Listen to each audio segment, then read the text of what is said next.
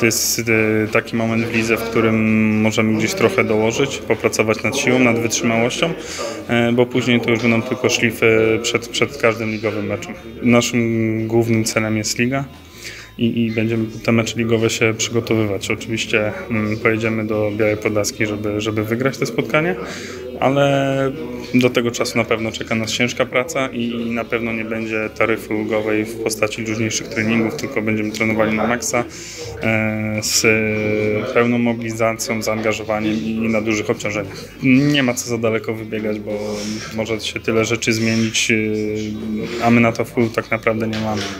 Może przyjść tak, że będzie zakażenie u nas w zespole i będzie czekała nas jakaś przerwa. Wszystko trzeba brać pod uwagę, ale jeżeli jesteśmy wszyscy zdrowi, to musimy, musimy ten czas wykorzystać jak najlepiej. Czas na, na, na rodzinę, na przyjemności był e, teraz na przełomie grudnia i stycznia, a teraz jesteśmy zawodnikami kontraktowymi i od nas zależy, jak e, podejdziemy do sprawy, a wierzę w profesjonalizm tego zespołu i, i mam nadzieję, że będzie dobrze.